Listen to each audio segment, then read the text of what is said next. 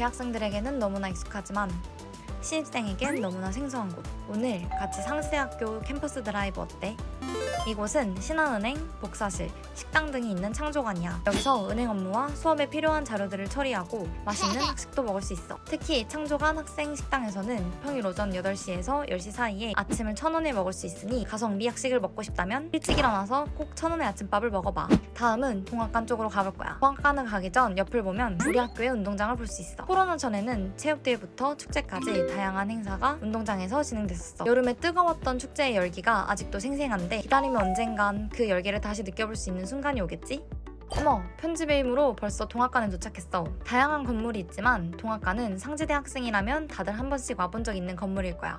와이파이와 콘센트 등이 갖춰진 스마트 강의실과 많은 인원이 교양과 전공 수업을 들을 수 있는 강의실, 비데가 갖춰진 깨끗한 화장실도 있어.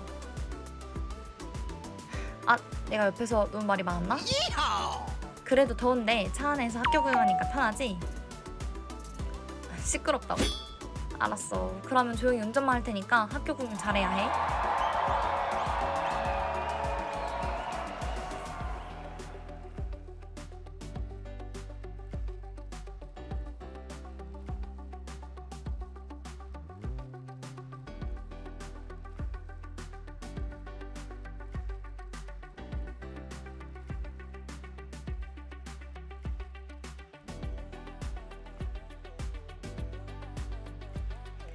과거의 추억과 미래의 희망이 공존하는 곳.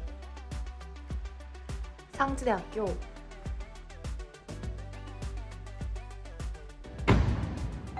다음에도 또 드라이브 콜.